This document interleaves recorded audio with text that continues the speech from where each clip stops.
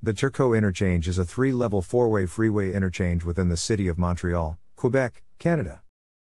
Located southwest of downtown, the interchange links autoroutes 15 and 20 and Route 136 and provides access to the Champlain Bridge via the Décarie South Expressway.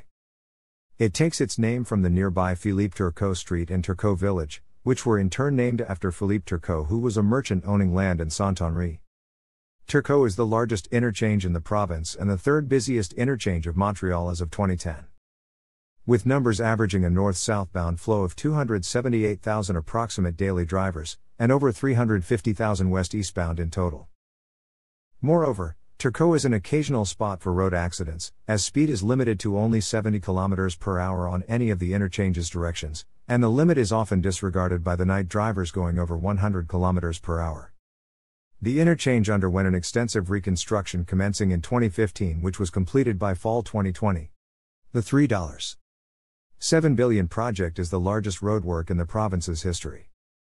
The interchange was projected as part of the first Montreal Highway in 1958 and planned to bind it to the Décarie Expressway, which was also designed at the same time. Construction started in October 1965 and Turcot was built in time for the 1967 Montreal Expo, along with other big projects such as the Montreal Metro. Upon its erection, an old railroad yard belonging to the Grand Trunk Company served as location for the interchange and was shortened by 25%, which required the demolition of a roundhouse. In 1969, upon reviewing the situation, city authorities concluded that the project used unnecessary space and could have coexisted perfectly alongside the buildings that were otherwise demolished, including some 20 residences. The elevated lanes of the Turcot interchange when it was originally constructed, nearly the entire interchange was built high above the ground.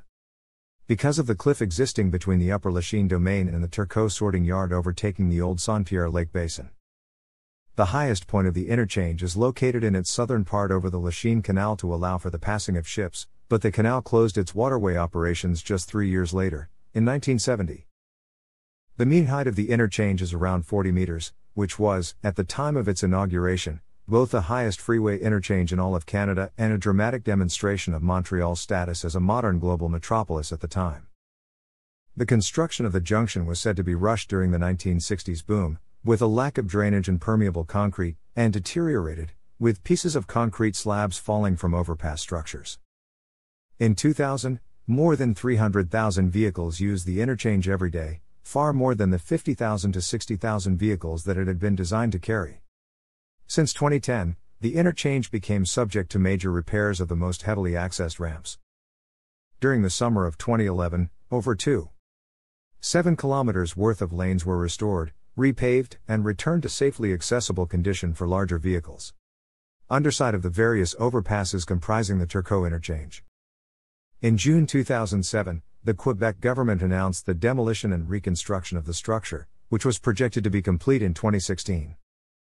The announcement came four years after a study on the interchange showed the Turcot structure was crumbling, with reports of concrete slabs up to one square meter falling from the overpasses. In addition to a new interchange built lower to the ground, a large segment of Autoroute 20 would be rebuilt more to the north. Reconstruction of the interchange is expected to cost between $1. 2 billion and $1. 5 billion. At the time of its announcement, the project created controversy as to how Turcot should be rebuilt. Local residents and community groups have come out against the project as proposed by the government, claiming that it will worsen pollution, increase automobile traffic downtown, and require the demolition of housing, including a significant portion of the Village des Tanneries neighborhood. The project's environmental hearings ended on June 19, 2009. They revealed new plans for the area by CN, as well as strong public desire to protect existing communities, rethink the modal balance of Montreal's urban transportation, and plan realistically for a future of energy shortages and environmental crisis. After MIP conducted several environmental and technical impact investigations in early summer of 2009, construction plans were halted because of the 2009 financial crisis. In April 2010, the City of Montreal gathered all previous commentary reviewed by BAPE and announced a different reconstruction project in which the railroad tracks and the main body of the A20 are kept at their original location. The height of the interchange is maintained but replaced with better lasting materials, and the former Turcot yard serve as ground for a new urban redevelopment district with its own community aspect. The cost is set at least $5 billion, which is at least three times that of the original. If this project is to replace the original, stated Julie Boulet, we can expect at least two more years of stalling, and suggested that Turcot should not be seen as a sandbox for any kind of proposals coming from all levels of the government. According to Gerald Tremblay, former mayor of Montreal, that was exactly the time necessary to prepare for the works, which were postponed into the second half of 2012.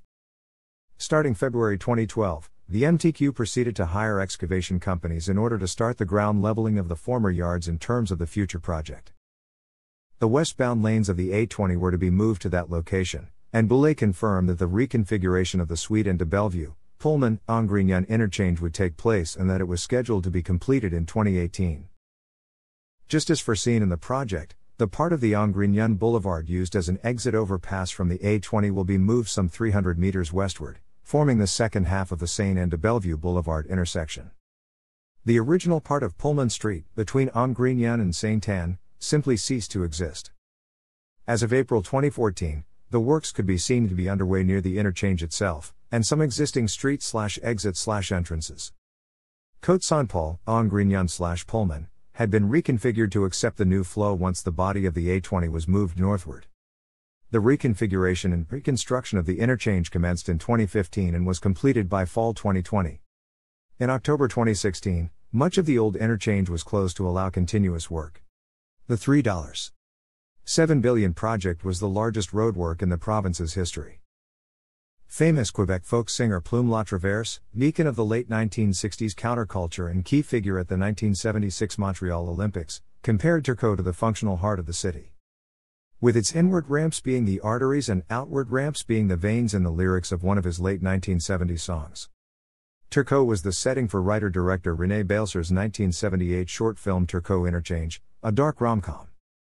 Since late 1990s, the abandoned space underneath the ramps has become a place of urban gatherings for certain graffiti artists. The artistic trio Flow, which was also rooted in Montreal in 1993 and has long ever since moved on, is involved in producing one of the paintings on the westbound A20 ramp, Smashing All Toys. With criminal activity on the rise in Saint Henri in the first half of the 2000s, this space has also been high on drug dealers and violence gangs until they were cleared by the SPVM by 2010. Thanks for watching.